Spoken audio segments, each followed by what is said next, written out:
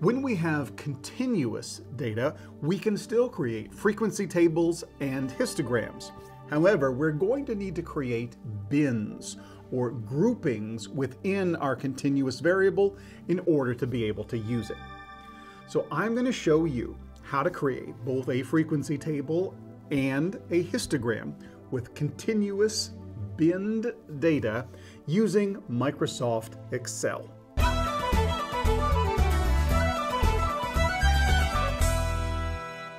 For this example, I'm going to be using the dog toys dataset that we've used previously. This dataset is available on the first tab of the Describing Data Week 3 Excel spreadsheet, which is available in class and also through a link in the description for this video. Let's start by taking a look at the data and I'll show you which variable we're going to be using. This is the dog toys data set. We have 50 dogs who were asked questions about how many toys they own or what was their favorite toy. We have some ordinal data like small, medium, and large dog size. And previously we used this beautiful categorical variable where we asked dogs about their favorite toy. Now we're going to use a continuous variable called toys owned in which the dogs were asked how many toys do you own? And the values range from 1 to 20. What I've done is moved those data points into the histogram tab.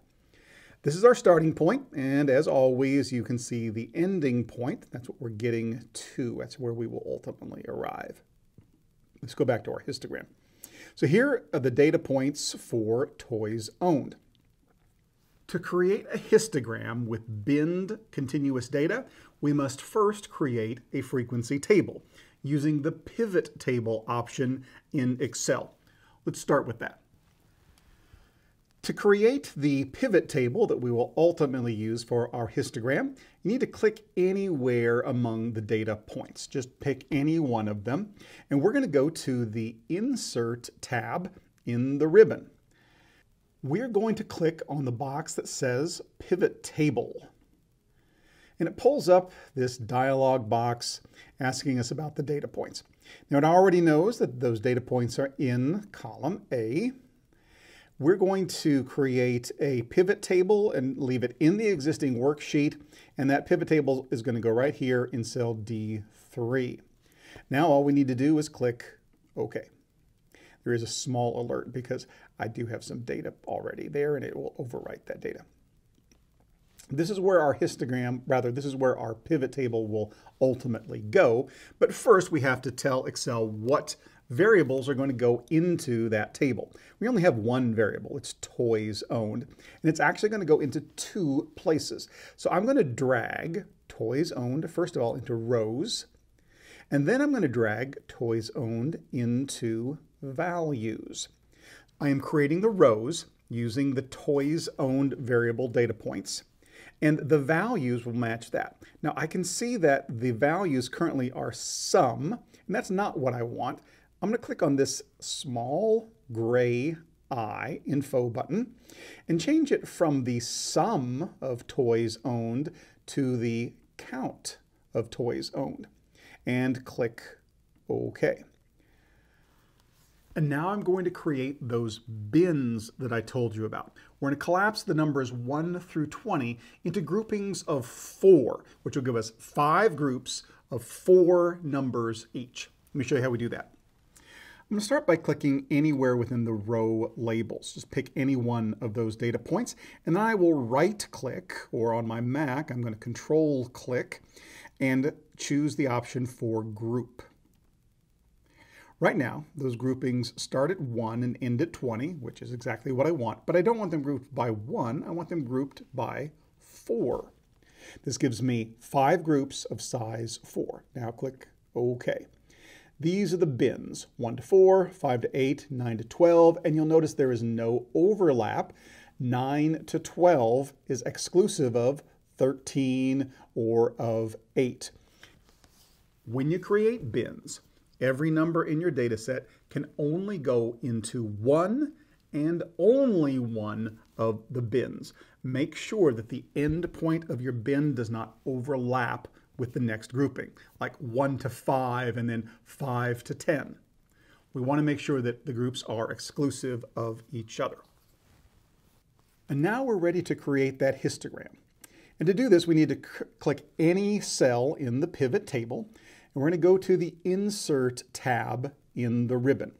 Now, previously we've used those recommended charts, but you notice this time there is not a recommended chart. So we need to know where to go to find that histogram option. And it'll be right here under the option for columns. I'm going to open up the columns, and this first one is for clustered column. That's the one that we need. Now, Excel does not create APA style graphs, at least not by default. We're going to need to do some editing to make this graph ready for publication. And the first thing we're going to need to do is change it from a bar chart, which it really is right now, into a histogram. And you remember the distinguishing characteristic between a bar chart and a histogram is that in a histogram, the bars touch, whereas in a bar graph, they don't. Let's fix that first. The way to fix these bars and turn them from bar graphs into histograms is to first of all double click. And then we're going to go to the series options and we're going to focus on the gap width. Right now it's 219%. Drop that all the way down to 0%. And now the bars touch. Of course, the other thing we are going to need to do is to change the color of these bars. To change the color of the bars, I'm first going to click off and then click the bars again to make sure I've selected all of them.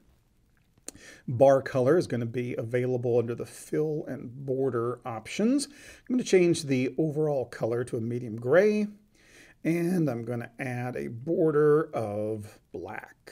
I think that's looking better already. I can also change the title of this table.